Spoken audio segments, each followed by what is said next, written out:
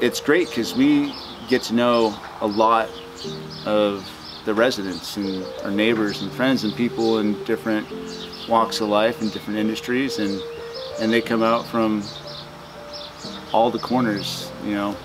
And and I think that's something that is for our type we've almost become a community center for people to come together and interact and react and and enjoy each other um, and it's it's been I think that's been the best part is that is that it, we have been really folded into the community in a really intimate way that's been really rewarding.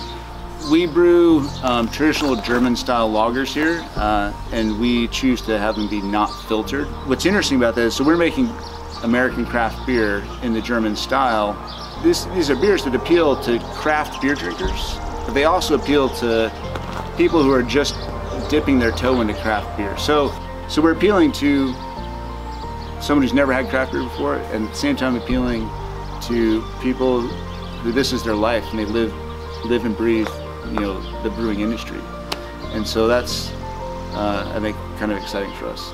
We just kept turning the wheels and turned the tractor barn into a, uh, or the tractor shed, I guess, into a into a tasting room in the brewery, and then and uh, kind of rehabbed the farm a bit, and then just you know added one parking lot, then a second parking lot, and then an outdoor pavilion, and and uh, just kept kind of working into. We thought we'd be doing more distribution externally, just around the state, and it became very apparent to us that we didn't need to do that. So we just could focus completely here and completely local, completely locally. So we sell all of our beer here, out of this door basically, and we make it all here. So it's all, it all happens here. You have this concentration here of, of really close individuals and businesses, um, and it, it's it's not that it's you know, a lot of times you have to go out, you got to go afar to find support. You got to go afar to find, you know, funding or a, or a bank big enough or smart enough or, or you have to find contractors or whatever it is.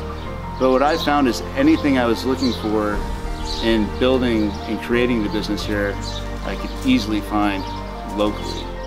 Be a part of something big, someplace small. Choose Coshocton.